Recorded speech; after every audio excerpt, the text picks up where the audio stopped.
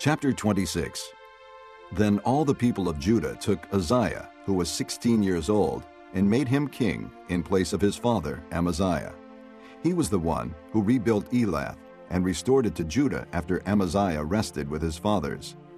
Uzziah was 16 years old when he became king, and he reigned in Jerusalem 52 years. His mother's name was Jekoliah.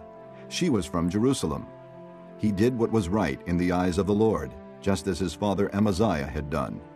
He sought God during the days of Zechariah, who instructed him in the fear of God. As long as he sought the Lord, God gave him success. He went to war against the Philistines and broke down the walls of Gath, Jabneh, and Ashdod. He then rebuilt towns near Ashdod and elsewhere among the Philistines.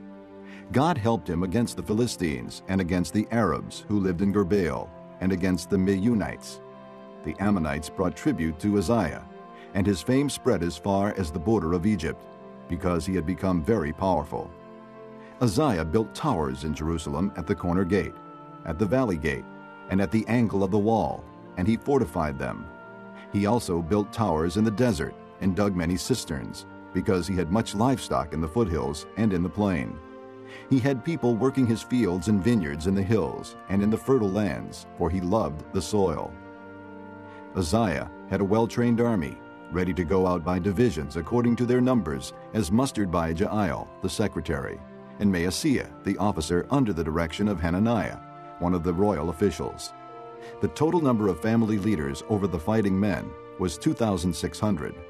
Under their command was an army of 307,500 men trained for war, a powerful force to support the king against his enemies. Uzziah provided shields, spears, helmets, coats of armor, bows, and sling stones for the entire army. In Jerusalem, he made machines designed by skillful men for use on the towers and on the corner defenses to shoot arrows and hurl large stones. His fame spread far and wide, for he was greatly helped until he became powerful. But after Uzziah became powerful, his pride led to his downfall. He was unfaithful to the Lord his God and entered the temple of the Lord to burn incense on the altar of incense. Azariah the priest, with eighty other courageous priests of the Lord, followed him in. They confronted him and said, It is not right for you, Uzziah, to burn incense to the Lord. That is for the priests, the descendants of Aaron, who have been consecrated to burn incense. Leave the sanctuary, for you have been unfaithful, and you will not be honored by the Lord God. Uzziah, who had a censer in his hand ready to burn incense, became angry. While he was raging at the priests in their presence before the incense altar in the Lord's temple, leprosy broke out on his forehead. When Azariah the chief priest and all the other priests looked at him, they saw that he had leprosy on his forehead. So they hurried him out. Indeed, he himself was eager to leave, because the Lord had afflicted him. King Uzziah had leprosy until the day he died. He lived in a separate house, leprous and excluded from the temple of the Lord.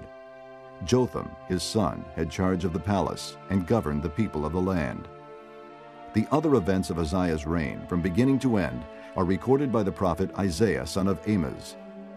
Uzziah rested with his fathers and was buried near them in a field for burial that belonged to the kings, for people said, He had leprosy. And Jotham his son succeeded him as king.